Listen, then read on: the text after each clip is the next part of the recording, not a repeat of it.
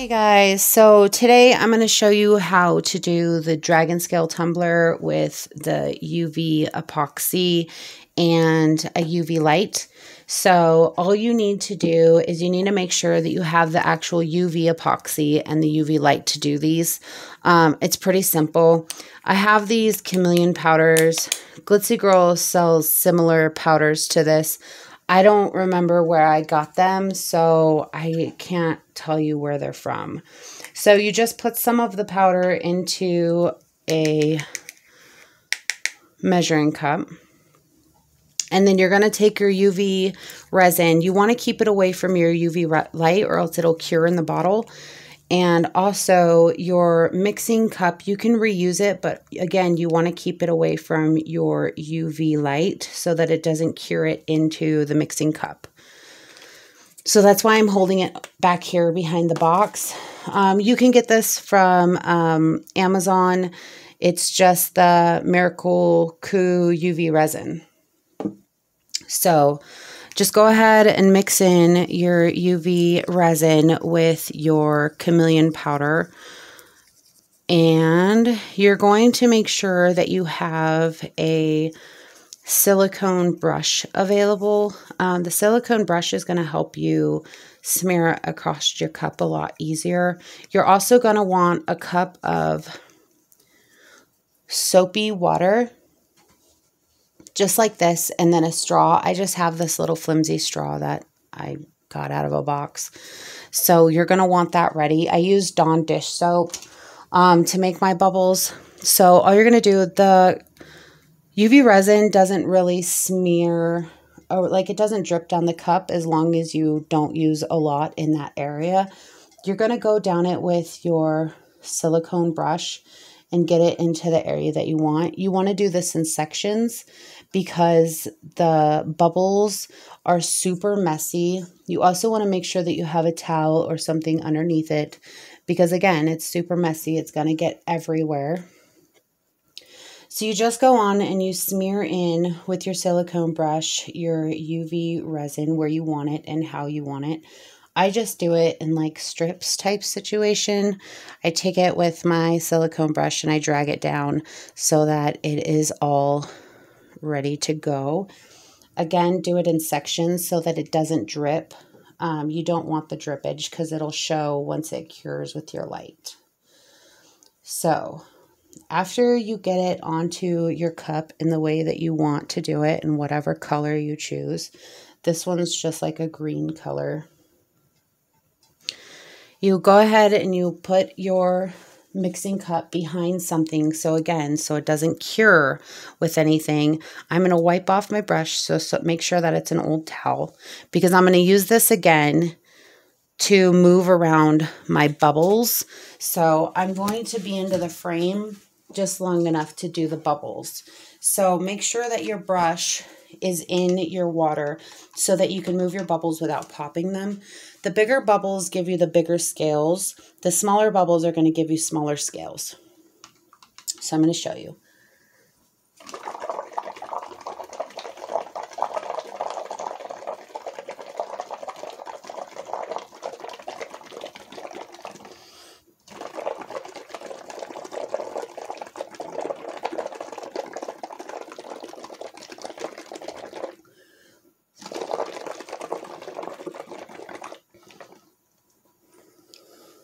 So it's just like blowing bubbles into your milk when you were a kid.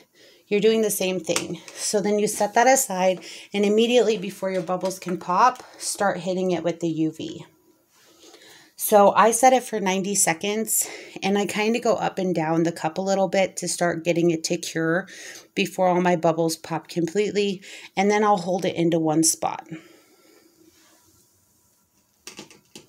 And you can move around your bubbles once they're on the cup if they start to fall off with the same sponge that you dipped into your cup.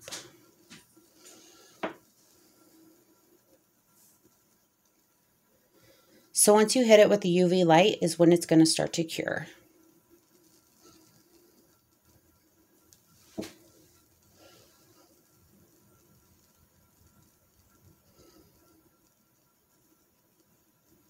This is also why I kind of go down the cup a little bit to get it to cure and start curing in some places because the bubbles are going to start popping. So you want to make sure that you got that the bubble mark into your epoxy, your UV resin.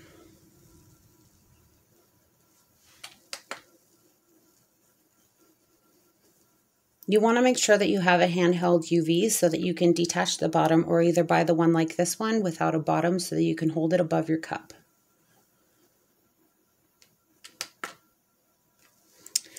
So it's pretty much cured at this point and you should be able to touch it. As long as you touch it and it doesn't like move under your finger, then it's cured. So mine is cured. Okay, so this is where you can take another um, towel or something like that and just get off the excess bubbles and wipe down the sides where you're going to go to next with the UV epoxy. So that's the first layer. I'm going to go ahead and I'm going to finish up this cup and then I will be back to show you the finished product and then we'll go ahead with how to do the claws and the eyes and I'll go over that with you guys then. Okay, so here's my finished cup. I've got all the sides done. I do layer over each side as I go to the next section so it's nice and even. So I made sure to get it all done. You're going to get some big bubbles, some little bubbles. It's all in just what you like. Um, honestly, I think it looks cool with the different um, scaly looks to it with the big bubbles and the little bubbles. I did make sure to get my butt. It is going to feel sticky to you. That's from the UV resin. So, but there it is. Okay, so I'm going to go ahead and I'm going to prep for the eyes and the claws and I'll be right back. Okay, so this is the molds for the eyes and the claws. You can get them with Glitzy Girl Glitter. Um, I can pin them down in my description um, as soon as I'm done with the video. So these are the molds that you're going to get. And there's a few different ways that you can do them. Um, so you can pick different colors than you chose for the cup itself. So I think I'm going to go with this purple here so that it stands off the cup more. You can mix the colors as well if you want um, to where you do different colors into the mold. I always just do the whole mold, whatever color I choose, and then I take paint and I paint in the eyes, the white and the green, when it's on the cup. So the thing with the molds is you want to make sure that you pull the molds from um, you want to pull the epoxy from the molds before they set completely because you want it to be able to mold to your cup. So I still, I pull it when it's a little bendable still um, before it completely sets. So that way I can super glue it to the cup before it's completely set and I can't bend it at all. It just makes it easier. It's just a little trick that I do. I think people do it differently. It's just how I found it to be easier to attach the eyes and the claws to the cups themselves. So I'm going to go ahead and I'm going to get these molds filled with this color and then I will be back. Okay, so I have the molds coated. So what I do is I completely cover the molds in the color that I want. I actually traded up the um, claws for this uh, copper color that I have because I want it different than the eyes. So it's like a reddish copper. So when I'm doing the claws, I kind of spread it apart like I am. And then I take my little brush and I just go into it gently to get all the nooks and crannies of the mold to make sure that everything's completely covered. I just kind of dab it in there. And then with this one, you had seen me start it. I just dab it along the ridges to make sure that I get it all in those nooks and crannies there. And I make sure that the whole mold is covered. I even do the eyes, even though I paint them later, but so at this point, once you have your mold co covered in the color that you want, you're going to set those aside and you're going to mix up your epoxy. So I am, of course, using the A and B of the fast set. So I'm going to measure those out. I'm actually going to measure out 30 ml of both just because I would rather have too much than too little. You're also going to need some black epoxy dye. This is the one that I use. Um, I just had it around. I don't really know where you get it. I think somebody sent it to me. I don't really know, honestly, where it came from. So I'm going to get these mixed up. You just want to add a few drops. You do want it to be completely black, so make sure you add enough. Um, don't stress if you have too much epoxy. Just have a mold ready that you can do black and then paint on later is a good idea to have for it. So I'm going to get my black mixed up. Again, I want to make sure that I pull the molds before they're completely set so that I can bend them around the cup. So you want to make sure that you have some super glue available. This is just the Scotch super glue. Um, it's like a dollar, but you can use any super glue. It's just super glue. So because it doesn't have any sides to keep the epoxy in, you want to start from the middle and let it kind of work itself out and level itself out by going out to the edges that it wants. Make sure that you have a flat table. Um, I don't know if mine is flat, honestly. And then I just kind of scoop it with my stick here into the mold to get it into the areas that I want. You don't want to fill it too much because it will start going over the edge. You just want enough in there to fill up your mold. And you can't go over the sides because it's going to run down and it's going to be a waste of epoxy. You're going to have to cut that off and that's just another step that you don't want to do. So I'm just going to use my stick here to connect the two eyes with just a nice thin layer between them and then you're going to go on. You don't even have to connect the eyes if you don't want to. I mean, it's completely up to you. Most of the time I don't, but since the mold calls for it, I'm going to go ahead and connect it and I'll be right back. Okay, so you can see that it's starting to go over the side here. All I'm going to do is I'm going to take my stick and I'm just going to kind of scoop it up with it and put it back into the container so that I don't have to cut off any later. I'm going to add a little bit more here.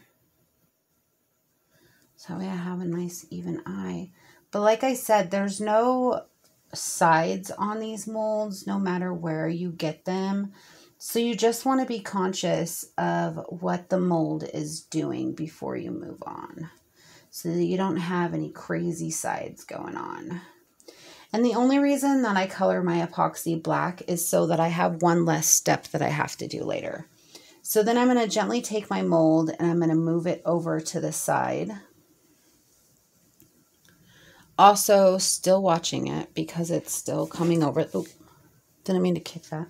Because it's still coming, it's still coming over to the side. So I'm going to gently just wipe it off again. And once it starts to set, you won't have to watch it as much, which is nice but you just don't want that extra wispy on the side that you're going to have to cut off because it just won't look right on the cup. So I'm just going to use my stick. So next you want to pull over the claws. Make sure that you're watching the eyes and what it's doing. You're going to be kind of multitasking here because you don't want it to go over the side like I said. Um, because when I pull it, I just want to be able to mold it onto the cup. So at this point, we are going to have some leftover epoxy, but at this point, you want to fill up the claws here. And I'm just going to gently pour into the claws and then kind of let it self-level and then add in any more if there's not enough. I'm also going to take this time to kind of use my stick to drag it all the way to the end claw so that it's there. I'm going to take off all this extra so it doesn't go over. And then I'm going to move on to the next claw. Just kind of dump it in there. Dump enough in there until you think that it's going to fill itself. Then let it self-level. If it doesn't quite reach that claw all the way to the end, just help it. Just drag it over there a little bit. And just move on.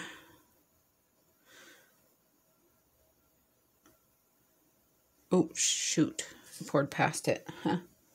My bad. Good thing it's silicone. So that one kind of just went onto the bottom part of the silicone, so it will stay there. So if you end up with like a bulge at the end, you don't want that. So you want to take that off. This is also a super messy thing. That's why I have this down onto my table because my eyes over here are also drooping. So I'm going to get off all that extra so that it's not attached to the eye. But you just, I mean, there's nothing really you can do about it. You're just going to have to let it self-level and then use something to pull it off, whether it's a stick or um, your silicone brush. That'll work too. I just have the stick here, so that's what I'm using. Just because it's already in my hand. Once it detaches from the eye, like how it's went onto the table there, that's not even a big deal. I will just pick it off if I can later. I just am going to pay attention to what's attached to the eye.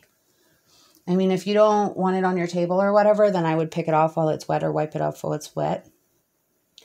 But it doesn't bother me because I have something down for it. So also, when it's self-leveling, it's going to start to show these higher raised part of the molds. You want to make sure that you have those covered, at least with a thin layer so that it's attached, so it doesn't break when you take the mold out. Okay, so you want to pull your molds while they're still kind of like wet almost, like tacky, so that they attach to the cup really well. That's what I do anyways. Make sure that you have a towel handy that has some alcohol on it because this is a messy job, let's be honest. Also, you want to make sure that you keep your hands kind of clear of the super glue if you don't want it everywhere, but it's up to you. Again, you're to, your cup is to be kind of sticky. So what I do is I lay the mold down on the table in front of me. I add a little bit of super glue around the edges. So that way it attaches and I can bend it around the cup. It's okay if you don't get the super glue everywhere. You just want to make sure that you have it in the area that you want.